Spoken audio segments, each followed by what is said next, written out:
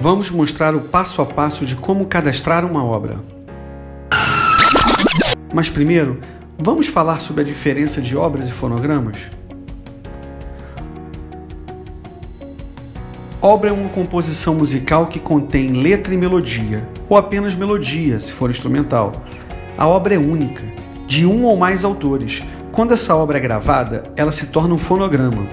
Entenda, uma obra pode ser gravada por diversos intérpretes. Por exemplo, Aquarela do Brasil é uma obra de Ari Barroso, mas ela já foi regravada por Toquinho, Gal Costa, Caetano Veloso, Gilberto Gil, entre outros. Todas essas gravações são fonogramas diferentes. Se você tem um contrato com uma editora, não se preocupe, a sua editora vai fazer esse cadastro por você.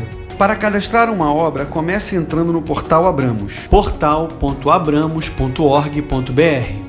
Se você é nosso titular e ainda não se cadastrou no portal, clique aqui no Cadastre-se.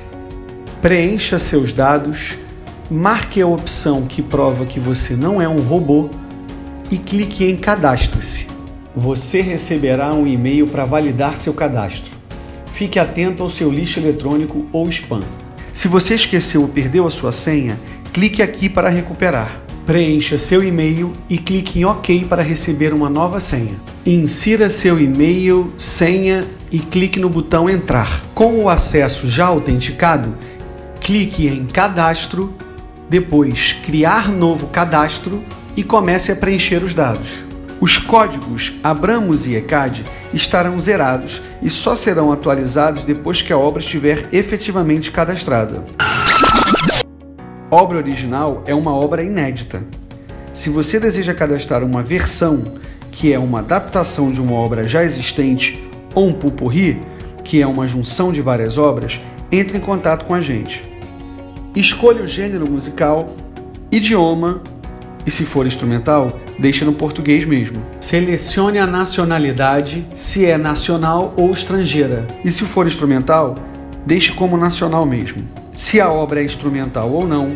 Se não for instrumental, você já pode colocar a letra nesse campo, não é obrigatório. Insira a duração da música, também não é obrigatório. Clique em próximo.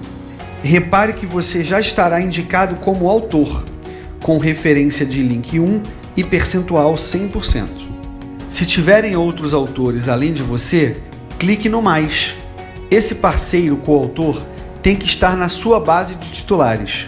Se é a primeira vez que você está cadastrando, clique em Cadastrar titular. Cadastrando titular.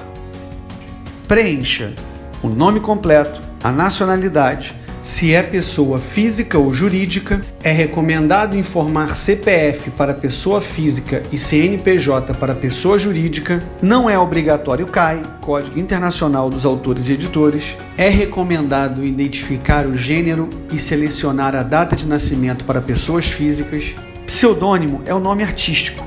É muito importante que seja preenchido corretamente, quando tiver um. Uma pequena observação: você, como titular Abramos, já tem os seus dados, inclusive seu pseudônimo salvos. Não se preocupe com isso. Defina a classe do seu parceiro, defina o link. Ah, muita atenção! O link é um número para você controlar os parceiros da sua obra. Você é o link 1. Quando cadastrar parceiros, eles têm que ser sucessivamente link 2, link 3, 4 e etc. Insira agora o percentual. Ah, preste atenção. A decisão sobre os percentuais de autoria das obras fica a cargo dos titulares, não existindo valores fixos para cada um. Não há um percentual exato para o titular que faz a letra e outro para que compõe a melodia, por exemplo. No caso de haver uma editora da obra, os percentuais são definidos em contrato. A soma dos percentuais de todos os parceiros da obra tem que ser 100%. Clique em OK, insira quantos parceiros você desejar. Após isso, o sistema automaticamente adequará todos os percentuais para que a conta feche em 100%. Se você quiser excluir algum parceiro, caso tenha colocado por engano, é só clicar no menos. Mas você, responsável por esse cadastro, não pode se excluir. Se você já tem o titular cadastrado, de outras vezes que ele foi seu parceiro, basta digitar o CPF ou o nome ou pseudônimo, que automaticamente ele vai aparecer para ser selecionado clique nele e continue o processo para classe, link e percentual. Nessa tela, você pode adicionar outros títulos de como sua obra é conhecida. Por exemplo, sua obra está sendo cadastrada com o título original de 1 de março. Aqui você pode adicionar outras formas de grafia do nome da obra. Isso serve para ajudar o ECAD a identificar a sua obra, mesmo que ela tenha uma variação de título, mas essa área não é obrigatória. Referência conexa. Nessa tela, você pode adicionar o intérprete, músico, artista, grupo que vai gravar a sua obra. Isso também vai nos ajudar a identificá-los. Não é obrigatório, mas é importante você sempre deixar o cadastro da sua obra atualizado. Antes de salvar, não esqueça que você precisa ler e aceitar os termos de uso. Esse termo, resumindo, diz que você é o único responsável pela veracidade das informações aqui cadastradas. Agora é só aceitar e salvar. Vai aparecer obra salva com sucesso e pronto. Para acompanhar o status da sua obra, clique em buscar e todas as suas obras e respectivos status estarão disponíveis, bem como acesso a alterações. Caso você seja o editor da obra, o processo é exatamente igual ao que mostramos anteriormente, somente com uma diferença. Você terá que inserir a data de início de contrato. Se você, editor, tiver alguma dúvida, entre em contato com a gente. Vamos deixar todos os links na descrição desse vídeo. Você também pode fazer todos os processos pelo nosso app. Siga Abramos nas redes sociais